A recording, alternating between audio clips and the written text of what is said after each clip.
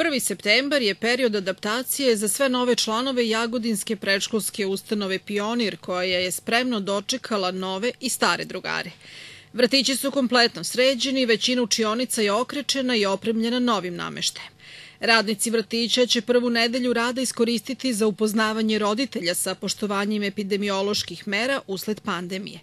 U vrtićima u Jagodini trenutno je 1750 dece, a mesta ima još za preko stotinu mališana.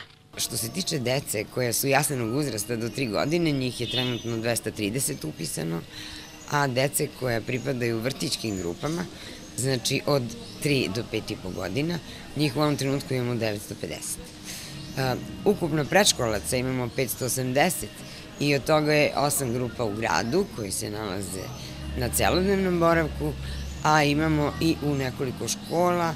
Imali smo ranije u školi Rada Miljković i Milan Mijalković, a ove godine preškolci su nam i u školi 17. oktober i prvi put u školi Goran Ostajić. Opremili su nam divno prostore za doček budućih prvaka koji će kod njih da nastaviti da se školuju.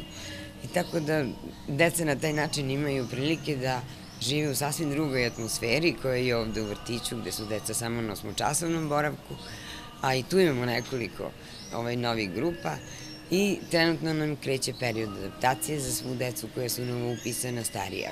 Nastavljaju da dolazi, oni već znaju sve ono što treba da znaju. Pored grada u 23 jagodinska sela su formirane predškolske grupe koje se uglavnom nalaze u okviru škola, pa je tako dolazak dece olakšan jer ga pohađaju u mestu gde žive.